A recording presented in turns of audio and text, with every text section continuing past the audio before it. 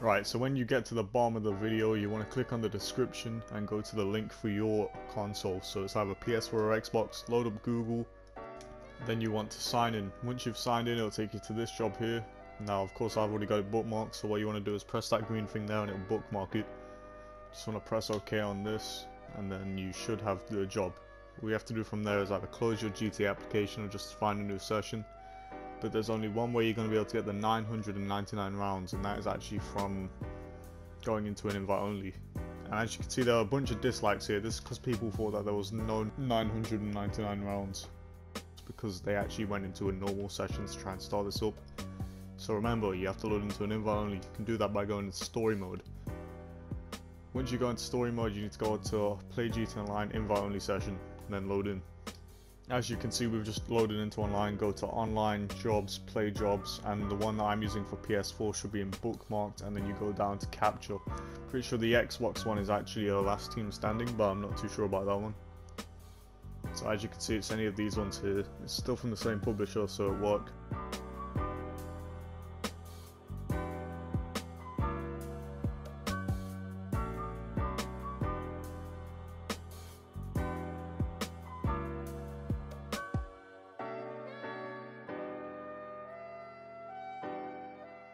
Okay, so once you're loaded in, you want to keep the settings how they are. You don't want to change them, and then just invite a friend to start the job. That's why you're going to need two players to do either of the jobs on here. So I'm pretty sure you can find someone from in PSN in the comments or something.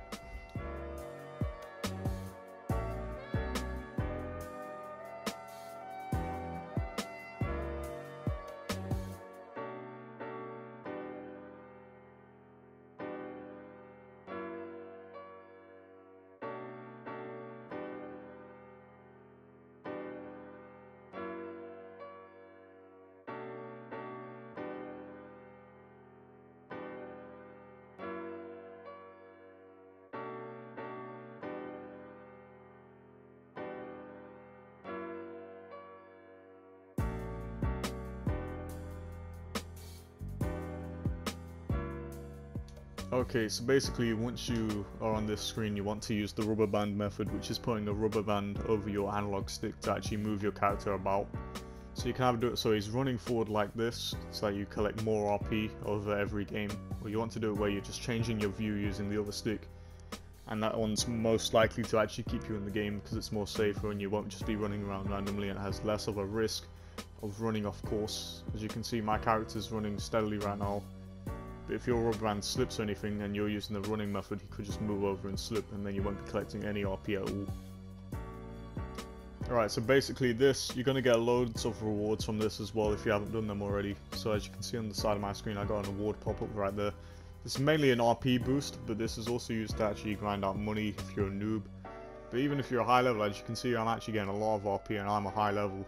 So this works for any kind of level you are in the game it's perfect for any type of player if you want to go AFK. It's a good way to build up your money and your RP. And I'll see you next time.